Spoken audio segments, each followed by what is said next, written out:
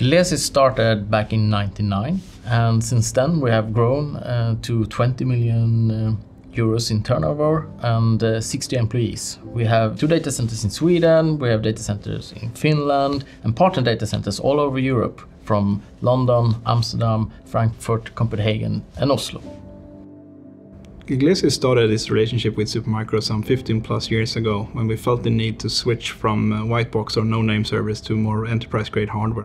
Uh, Supermicro made it really easy for us due to their modularity. The systems they build are really easy to, uh, to both maintain and change purpose of. Since they're so modular, you can actually build a server with one purpose and during the end of its lifetime it will be doing something completely different with minimal input or minimal changes. Challenges with providing cloud services are that they are mostly needed to be served from one location. And the problem with that is that you need a lot of servers at one location. You will need a lot of power and all that power will generate a lot of heat. The way we approach this at GleSYS is that we use only green certified energy and the heat are actually harnessed and put back into the district heating system. One of the cool things about this building and this room in particular is the way that we produce heat. What we're looking up at here is the water pipes that feed this coolant machine that I'm standing in front of. It uses the cold water that's transported through the pipes to produce this cold air that's feeding the servers.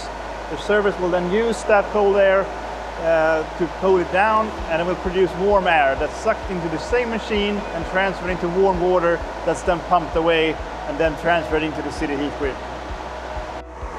Over 90% of the server systems we use are from Supermicro.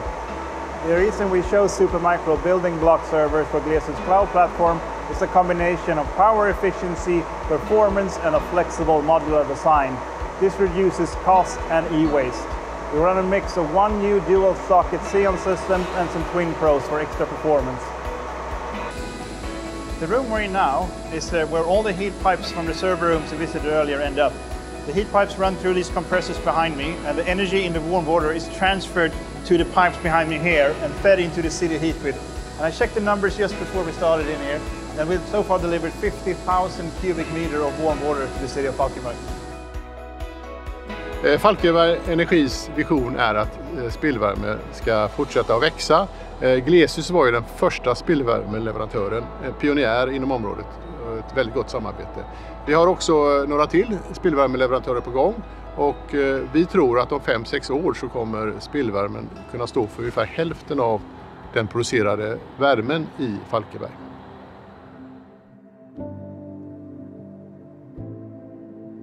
So with GleSYS I wanted to create a workplace uh, that couldn't be found elsewhere.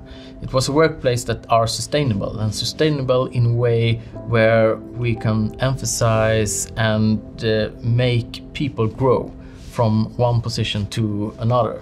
And since uh, I'm always been into computers and are a computer nerd, it was quite obvi obvious that it would be somewhere in the in the hosting or technical area.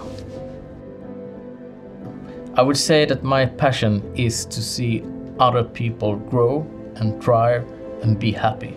And those people can be my family, my coworkers, or my customers.